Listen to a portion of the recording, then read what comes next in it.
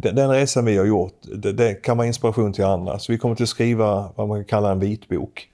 Och, och liksom säga, så här gjorde vi. Det är inte, det är inte lösningen på allas ansökningar, men det kan vara en inspiration att säga liksom, okej, okay, eh, hur gjorde de? Eh, för jag tror ju fler, ju fler vi får eh, igenom snabbare i de här processerna, desto bättre är det för omställningen. Så det delar vi gärna med oss. Och det, det är lite grann delen av vårt, vårt purpose som bolag också. Vi vill driva transformationen. Så, så att när, när, andra hänger på, då firar vi liksom.